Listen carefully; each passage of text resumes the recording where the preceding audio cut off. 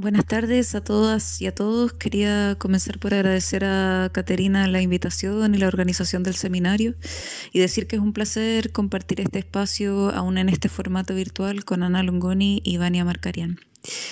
Lo que voy a contarles en esta presentación no es una reflexión individual, sino parte de un proceso colectivo más amplio de pensamiento, de investigación y de gestión transinstitucional que realizamos un grupo de investigadores de la Red Conceptualismos del Sur, conformado por Paulina Varas, Jaime Windel, Isabel García y quien habla a lo largo de ocho años y cuyos balances se reúnen en la publicación aparecida en 2019 que pueden ver en la pantalla.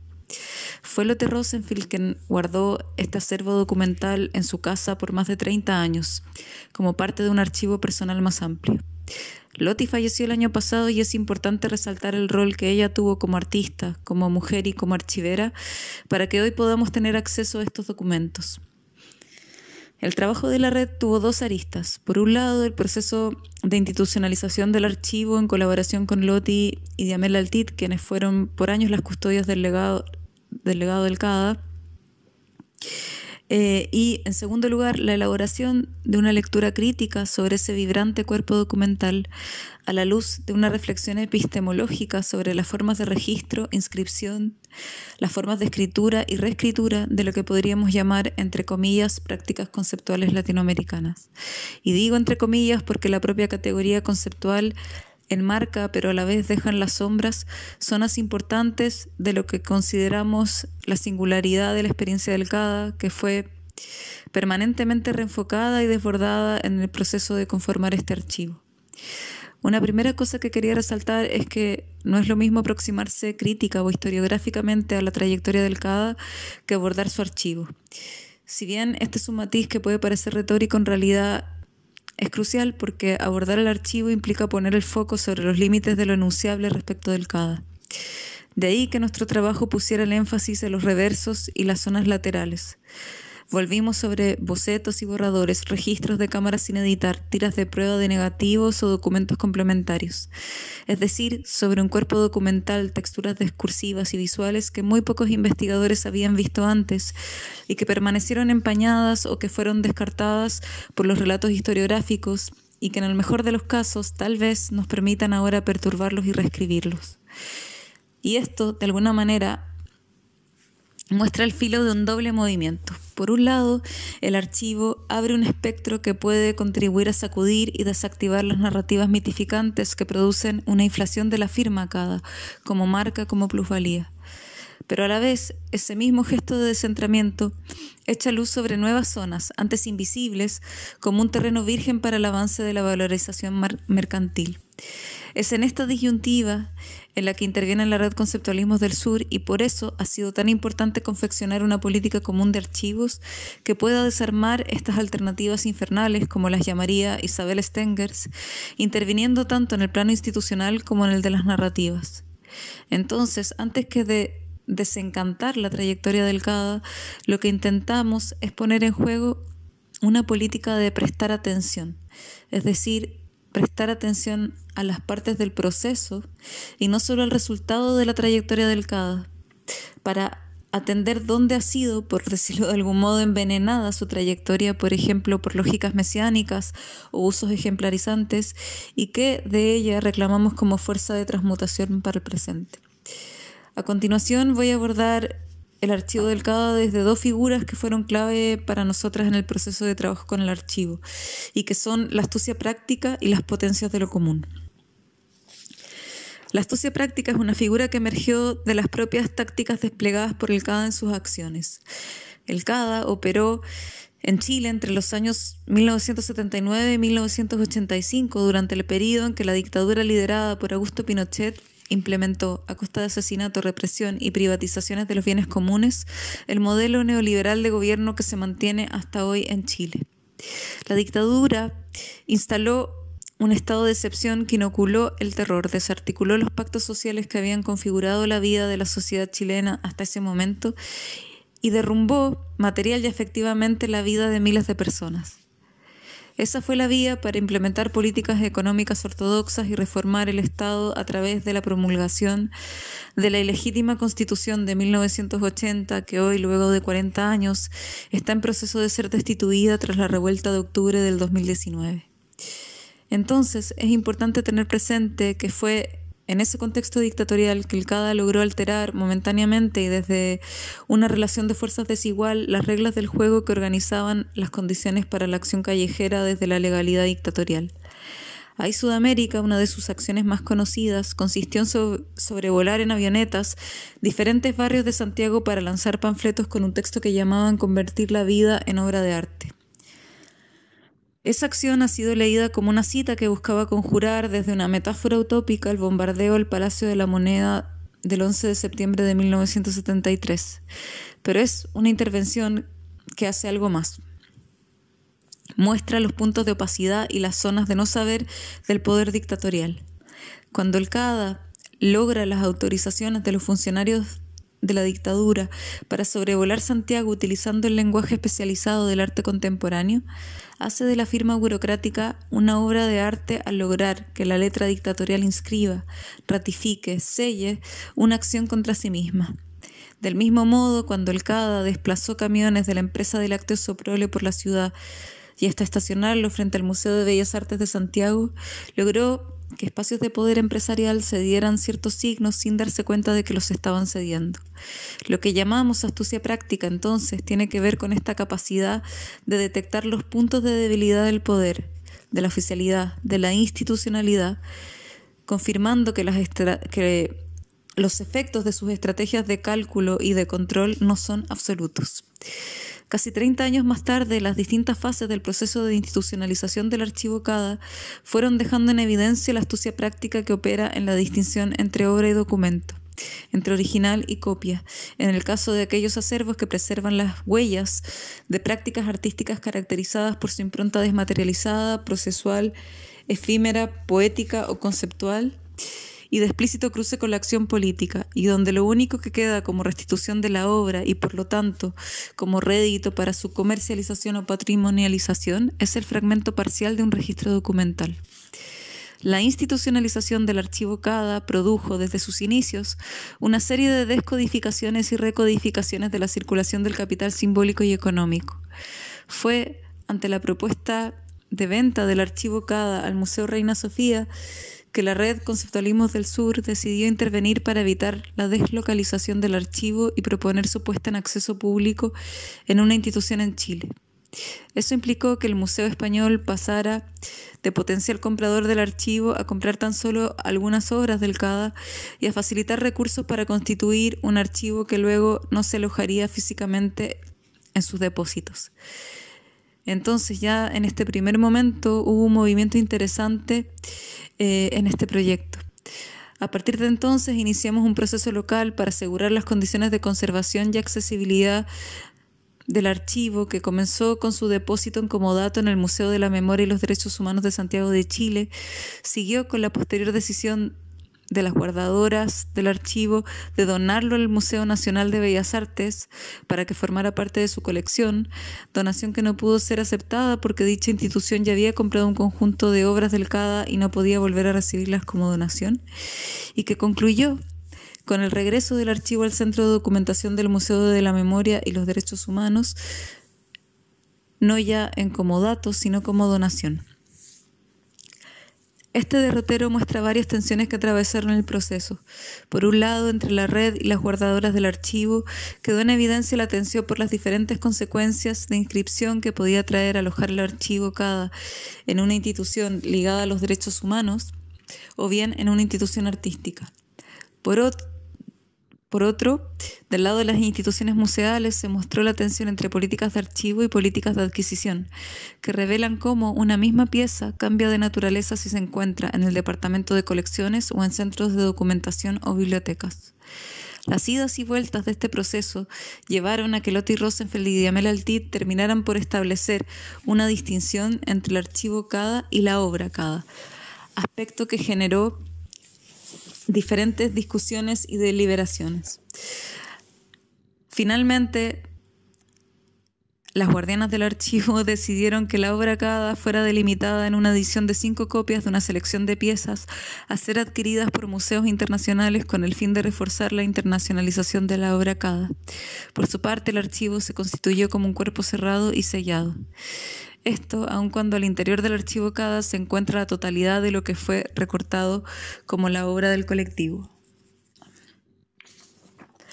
Una de las dimensiones que este proceso expuso muy claramente fue la reducción al absurdo o el hechizo que opera en la distinción entre obra y documento en el caso de las prácticas artísticas inmateriales. Permitió verificar que esa distinción se vuelve realmente decisiva en contextos de compra-venta antes que una distinción epistemológica, es una decisión táctica que está en el centro de los procesos de valorización del archivo, que determinan tanto posibilidades de comercialización, como las disputas por los modos de retener y privatizar, de vender o donar, de liberar y poner en acceso. Es importante remarcar que a diferencia de lo que ha sucedido con otros procesos de institucionalización de archivos en que ha participado la red, en las discrepancias y deliberaciones sobre el destino del archivo CADA,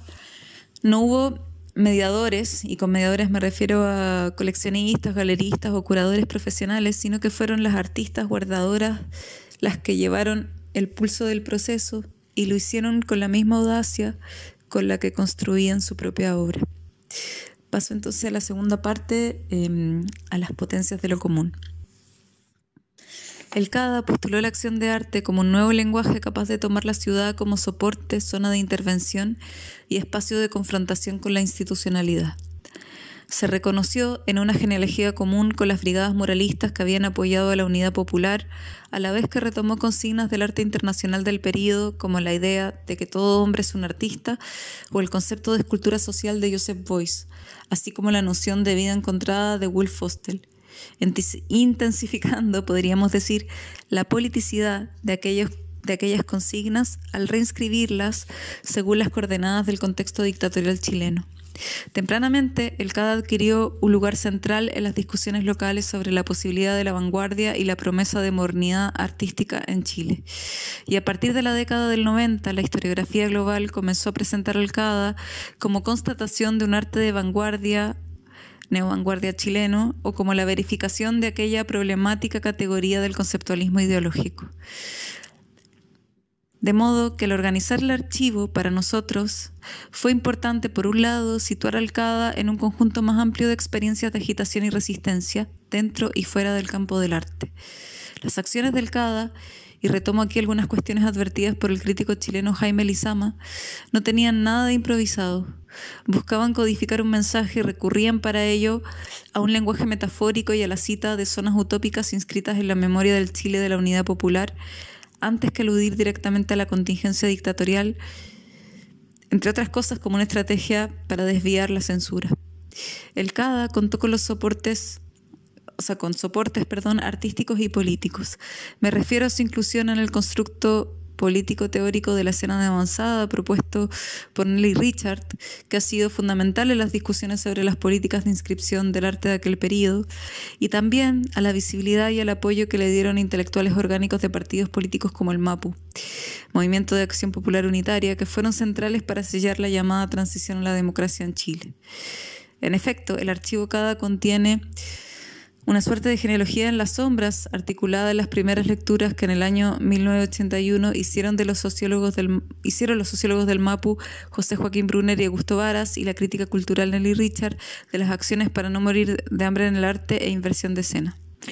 En aquellos textos la acción de arte es elaborada desde textualidades que no se ciñan al amparo discursivo del conceptualismo ni de la performance, que de alguna manera fueron categorías de inscripción que llegaron más tarde. Es importante señalar que estos textos, incluidos en el libro que publicamos recientemente desde la red, habían permanecido inéditos por muchos años. La lectura sociológica levantaba la acción de arte, tal como la, ejercitaba el CADA, como posibilidad de ruptura con la conducción partidaria como monopolio de la dirección política y como un modelo para un movimiento social volcado progresivamente hacia el futuro democrático. Por su parte, Nelly Richard, a diferencia de textos posteriores, sobre todo de, los 90, donde ha criticado la deriva mesiánica del CADA, enfatizaba en este texto temprano la potencia metafórica del signo leche, la tensión entre lo productivo y lo improductivo, entre la integración y la fragmentación de la acción, entre las temporalidades pasadas y futuras que movilizaba el CADA en sus retóricas, enfatizando el riesgo de lo incompleto y la comunidad aún no prefigurada que estas acciones permitían comenzar a vislumbrar. Lo cierto es que más allá de sus disonancias, el soporte de estas voces del campo político y artístico contribuyeron a trazar la excepcionalidad del CADA, forroneando una trama más compleja de articulaciones con otras experiencias tal vez más contingentes y desarticuladas, cuestión que puede verse abordada más extensamente en textos de Paulina Varas. Nos parece importante resaltar el modo en que el propio archivo muestra que las acciones del CADA no surgieron de una tabula rasa, sino en medio de un campo más amplio de agrupamientos, de iniciativas precarias que decidieron colectivizar lo que no tenían e intervenir el espacio callejero al costo de la inmediata respuesta represiva y policial de los aparatos estatales, negándose así a ceder la lucha antidictatorial exclusivamente a la reorganización partidaria. Sin embargo, no se trata de circuitos de acción del todo separados entre, por ejemplo, el del arte de un lado y, la y, los movimientos sociales por otro. Al observar al CADA desde su archivo, es posible desenfocar la imagen de un colectivo cerrado de cinco personas que realizó cinco acciones. La práctica del CADA fue porosa y múltiple. Sus integrantes trazaron zonas de contaminación con las acciones individuales y grupales de artistas como Hernán Parada, Elías Adasme y Luz Donoso colaboraron con Paz Errázuriz y con colectivos activistas como Mujeres por la Vida, por nombrar tan solo algunos. Otro aspecto importante fue recuperar la potencia de, lo colectivo que el archivo vela y desvela a la vez. Diamel Altit señala cómo la obra cada transcurrió, cito, entre las hablas, entre las vueltas y vueltas de conversaciones en un tiempo en que la construcción política de comunidad que porta la oralidad se había suspendido. Cierre de cita. De alguna manera, Diamel Altit señala que esa oralidad, una oralidad fuera de todo registro, fuera entonces del archivo, era la sede principal de la construcción colectiva del CADA. Efectivamente, la alquimia de esas conversaciones es hoy inaccesible. Sin embargo, el archivo abre acceso a otras dimensiones de lo común, a las operaciones de mutación, multiplicación y metamorfosis que la firma cada habilito. Por ejemplo, en la extensión de la acción para no morir de hambre en el arte, las acciones en torno a la leche que los artistas Cecilia Vicuña y Eugenio Telles impulsaron en Bogotá y Toronto, o la convocatoria internacionalista arte correo lanzada en 1984 por cada Chile y los artistas democráticos del país.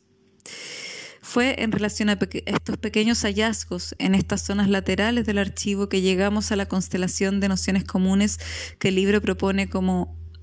un posible acceso al archivo. Y aquí es importante mencionar brevemente un antecedente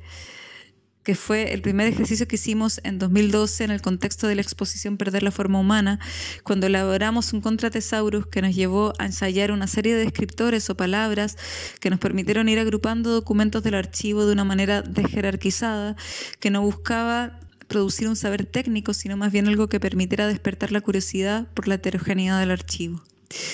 Con ese primer ejercicio comprendimos que no se trataba solo de un ejercicio categorial, sino de captar como dice Diamel Altit, cito, que el archivo cada no es solo memoria, sino también movimiento en el interior de los movimientos. Cierro la cita. Es decir, que había una conexión que hacer entre el archivo y los movimientos sociales del presente. Y ahí fue que aparecieron las nociones comunes que retomamos de Deleuze y de la lectura que él hace de Spinoza, como puntos de una constelación que nos permitían pensar un encuentro y una forma de composición y recomposición de lo común. Es decir, se trataba de pensar cómo el contacto con los objetos, documentos e imágenes que el archivo ponía a disposición se potenciaba una suerte de tercer espacio, entendido como un espacio de encuentro entre cuerpos que accionan y se afectan en diferentes tiempos,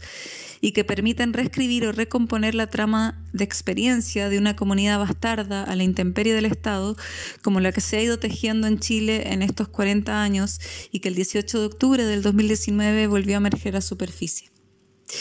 Esto se hace muy claro, por ejemplo, con la noción de convocación, que interfiere la flecha singularizante de la acción con la resonancia más plural del llamado, de la convocatoria, que busca producir un contacto, un contagio antes que un resultado. O podríamos pensar que para la convocación el contacto es el resultado. En este sentido, es emblemática la intervención No Más de 1983, que consistía en un llamado a la acción a través de un signo que articulaba un descontento o un deseo político que no estaba previamente formulado. Si pensamos en los primeros rayados del No Más en los muros de la ciudad, que el CADA dejó ahí y que fueron completados por otros anónimamente, ahí la potencia del encuentro resulta clarísima. Por otra parte, la imagen del no más eh, la primera imagen del no más eh, que encontramos en el archivo muestra una mujer haciendo un rayado en un muro con el texto cada convoca no más. Es interesante retomar ese gesto inicial donde el cada aparece como convocante y recordar a la vez que el no más se convirtió en un signo fuera de control, en una consigna de la que ya nadie es dueño y donde el, donde el cada es testigo de su propia desaparición como autor. En este sentido, el no más es un hito no es un hito histórico, sino una herramienta de comunicación social que se reactiva cíclicamente en Chile y que fue y ha sido emblemático en los últimos ciclos de manifestaciones desde el movimiento estudiantil hasta la revuelta del 2019. Pero para finalizar, quisiera detenerme aquí en la noción común hambre y vida, eh, que parte de, de un doble movimiento. Por un lado, esta noción común puede ser pensada como una forma de desnaturalizar la propuesta vanguardista de reconectar arte y vida, que ha tendido a poner el foco activo sobre el arte, dejando el polo de la vida como algo inmediato y aproblemático. Por otra parte, Hambre y Vida señaliza un contexto histórico, las consecuencias de la crisis económica sin precedentes que se desató en Chile a partir de 1981-82, truncando las promesas del modelo neoliberal y que llevó a que la dialéctica capital-trabajo comenzara a ser desplazada por la de capital-vida, a, a que la explotación salarial comenzara a dar paso a la exclusión subalterna. La documentación de acciones como para no morir de hambre en el arte, pero sobre todo aquellas que han permanecido más desenfocadas en los relatos del CADA, como el fulgor de la huelga, la hora señalada y residuos americanos, producen una serie de imágenes sobre la huelga, la indigencia, el hambre, que permiten tensionar y desnaturalizar lo que el significante vida moviliza en ellas,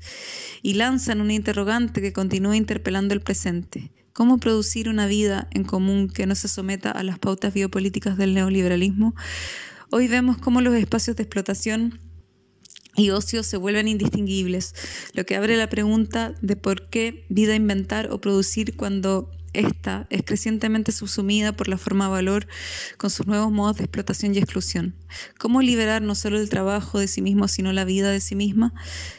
El retorno sobre el cuerpo que producen las opciones del CADA reconvierten la relación huelga-producción en huelga-hambre.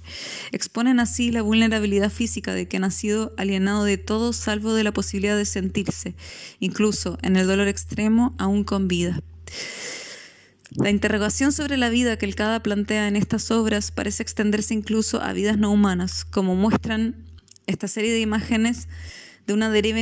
inconclusa del fulgor de la huelga, fotografías que muestran frazadas grises con la inscripción CADA, ya no en los cuerpos o máquinas de la fábrica, sino a la intemperie. Extendidas en el desierto, estas imágenes ofrecen la ficción de una huelga de los medios de producción,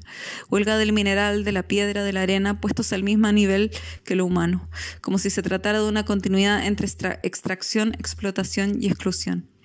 Quizá lo que nos dicen estas imágenes es que, así como la huelga no es patrimonio exclusivo del humano, la extracción no queda circunscrita tan solo en las materias inertes. Para cerrar, quería terminar con una imagen. La palabra hambre proyectada sobre el edificio de la Telefónica en la Plaza Dignidad por el colectivo de Light Lab el 18 de mayo del 2020, cuando se reactivaron las protestas en Chile luego de la interrupción de la ocupación de la calle que implicó la expansión de la pandemia. En septiembre del año pasado, en un seminario coordinado por Ana Longoni en el Reino Sofía, Nelly Richards se extendió largamente sobre los retornos del CADA que podrían leerse en esta imagen y en su censura. Una censura particular, perturbadoramente sofisticada, consumada como un borramiento de luz sobre luz. También ahí podríamos pensar el llamado a la fusión entre arte y vida vuelve a enfocarse desde la vida. Hambre y vida como significante, pero también en toda su materialidad, retornan una y otra vez como respuesta a la función de muerte que el neoliberalismo expande día a día, abriendo un espacio de recomposición que vuelve a invocar al espacio público y a encender la indocilidad de esa comunidad a la intemperie hasta que la vida valga la pena. Eso, muchas gracias.